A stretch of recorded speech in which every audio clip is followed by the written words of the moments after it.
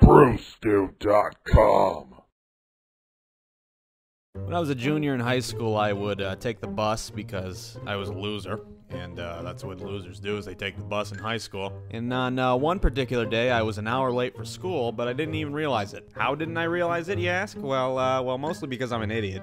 Probably because of that.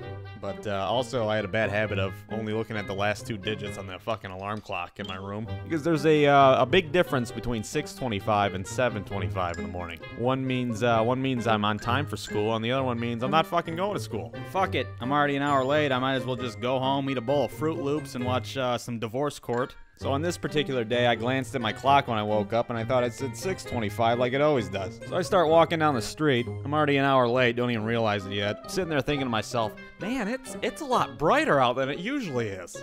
Huh.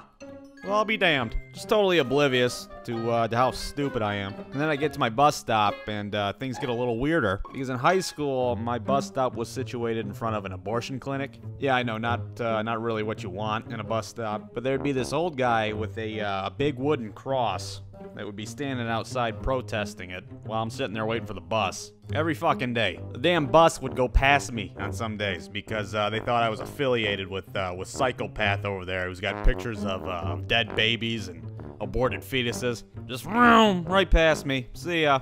See you later. Hey, you're ruining my life. Can you fucking stop? But anyways, that guy wasn't there at the bus stop, so you'd think that would be a good heads up, like, ah, Hey, I'm fucking late. That's the problem. But no. I was like, what the hell's going on? Where's old man Clemens at? Is there a fucking zombie apocalypse happening? What's going on? So a bus eventually does come, and I do get on that bus. And instead of a bunch of kids being on this bus, there's uh there's a bunch of old people instead. Nope. Still don't get it. Still not comprehending what's going on here. I'm like, what the hell is going on? It's like the plot of a shitty Goosebumps book. I was like, all my friends turned into old people. Oh no! So I take a seat next to the uh, person that smells the least like pee.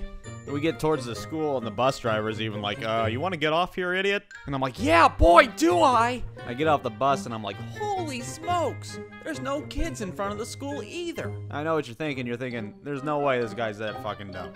Well, guess what? You're fucking wrong, because I am that dumb. My brain's like, uh, it's a, it's a bomb threat. Yeah, it's gotta be a bomb threat. No, no, maybe, uh, maybe terrorists. Yeah, there's terrorists in my school. So I bust through the front door of my school, looking for any trace of a bomb-wielding terrorist or fucking Somali pirates or something. I start heading towards the office like a uh, drunken Hardy boy, trying to crack the dumbest case you ever heard of. And I'm just about to get to the office, and, and I stop, and I look at the clock that's right above the door. And I'm looking at it.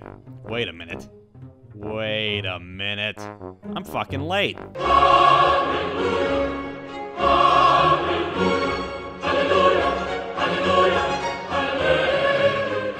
Yeah, I cracked that case. Look out, Walker. I got this one. Thank fucking God I figured it out because I was about to bust in that office door and be like, Where's all your damn people at? Is this real? Am I real? Somebody help me, goddammit!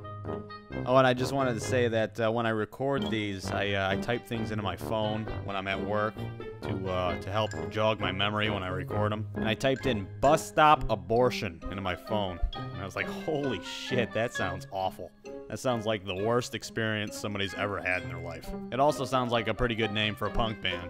So uh, if you're a punk band out there, utilize that name.